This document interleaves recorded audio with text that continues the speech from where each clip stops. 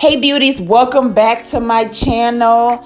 Thank you, thank you, thank you for being subscribed. We're almost at 11,000 subscribers.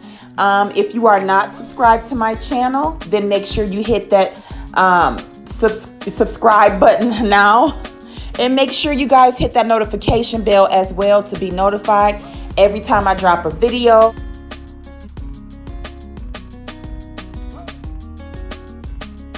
So today's video is a seamless, versatile sew-in.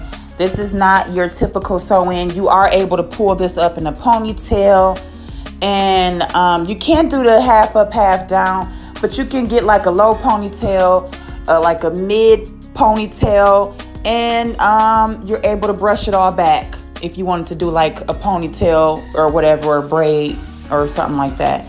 Um, these sew-ins I do at the salon on a regular basis. And um, my clients just love them because they're so seamless. You can't even tell that they are wearing any type of weave at all.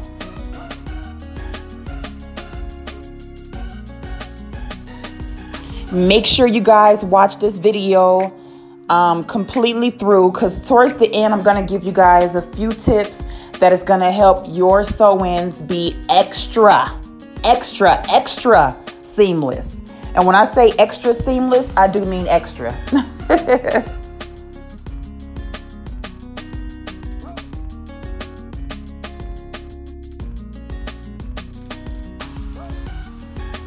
and when you get to the front of the sew-in or the front of the um, the braids, make sure you, you anchor that weft on top of the braid. Sew it down on um, both sides of the, the weft here and then fold it over. So you're gonna sew it in underneath the braid, on top of the braid, and then you're gonna flip it over and then continue sewing.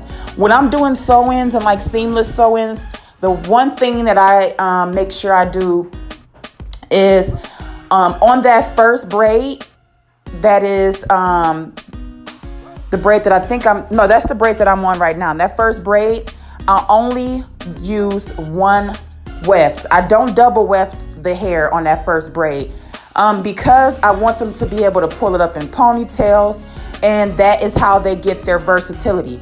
So do not double weft on that first braid unless the person has extremely thick hair and they can cover it up.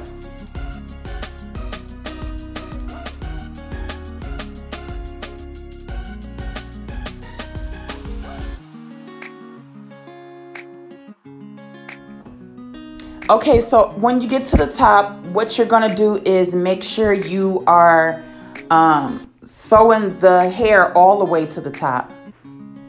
To the top of those braids, even where like the braids start, um, make sure you're sewing right there as well. You see what I mean? So right in there, you wanna still be sewing. Even though it's not an actual braid, still continue to sew. Because with that top braid at the top, what you're gonna do is braid underneath I'm sorry, you're not gonna braid underneath. What you're gonna do is sew underneath that braid with some hair, is what that's which is what I'm doing right now. And then you're gonna go on top of the braid and sew again another piece of track. So that way it completely conceals the track.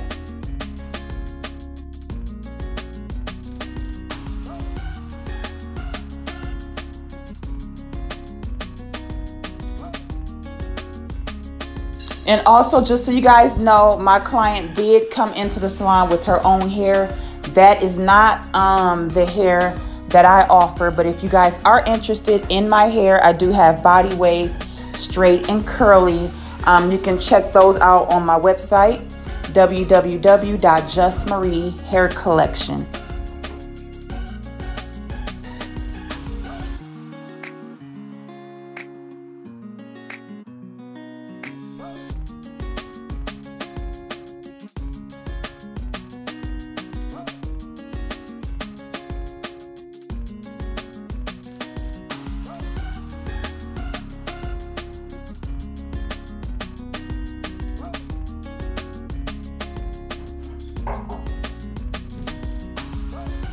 They would not.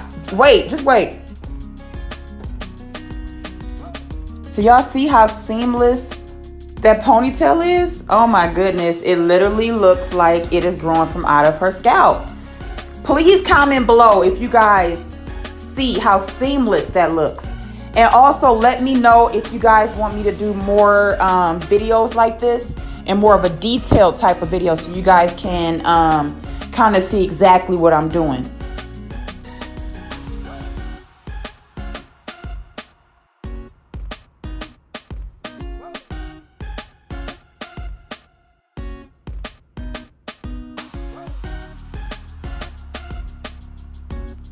When doing my sew-ins, um, I only do a single track at the first braid and then in between is where I double them up. So in the middle, I double up as many um, tracks as I can in the middle and then the top, um, I make sure that I um, just do single wefts. So that way it's flatter and it's not, um, you can't, it's not bulky or anything like that.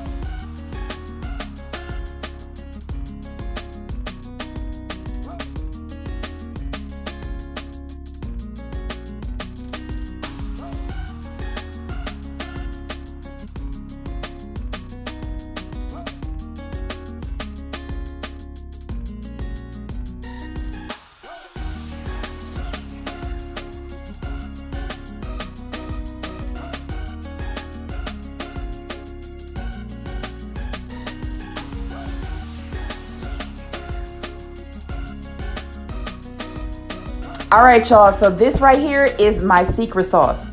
I spray Toppik on uh, my clients that are getting sew-ins. I usually spray it at the top around their part that's up there at the top. So that way it um, completely conceals out that, that part. And then it also, um, it, it also disappears that track as well at the top so you won't see it. So I spray it a little bit on the track and a little bit on the actual um, line or part that's up there. And it just makes it disappear. I love that stuff. They also have like the actual little little um, fibers that you can put on there too. But I, I actually have never used that. I only use the spray.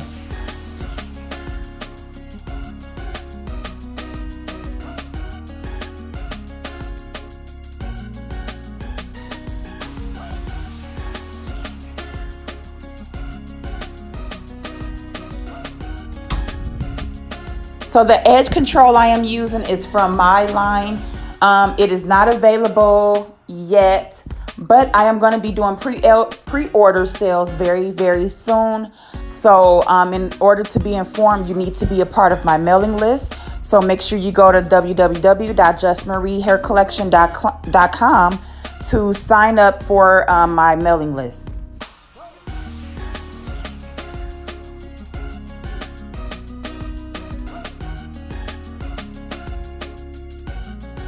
That is it for this video, beauties. I will see you next time. Make sure you are subscribed. Um, I do post every Sunday, Monday, and Tuesday. So make sure you are subscribed. Hit the notification bell so you can be informed every time I upload a video. All right, beauties. I will see you guys next time. Make sure you comment down below videos you are interested in seeing next. All right, bye, beauties. I'll see you next time.